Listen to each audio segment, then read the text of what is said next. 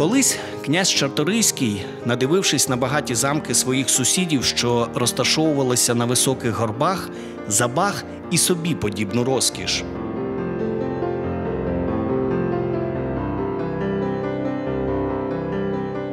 У власних володіннях підходящої місцини не було, але багатий князь твердо закомандував: буде.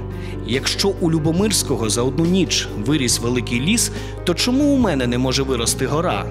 Тож нехай з'явиться вона на широкій пригоринській заплаві.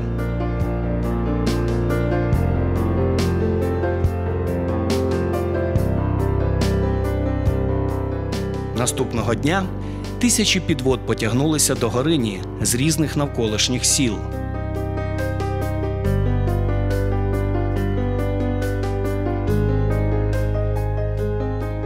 Під батогами наглядачів це була дуже важка робота.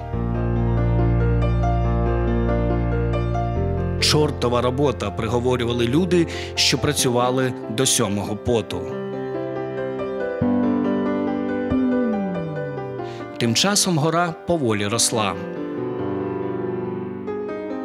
Довго ще їздили підводи, стогнали ночами кріпаки, аж раптом почули годі.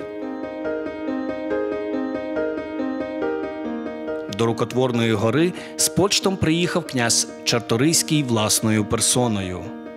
Вийшов на вершину, глянув навколо і промовив: Закладаю замок.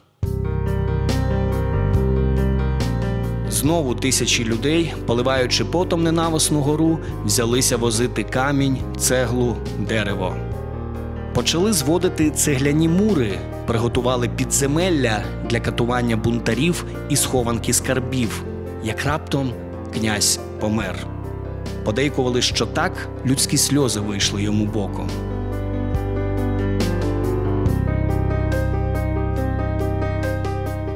Син князя наказав продовжувати роботи, але на землю напали татари.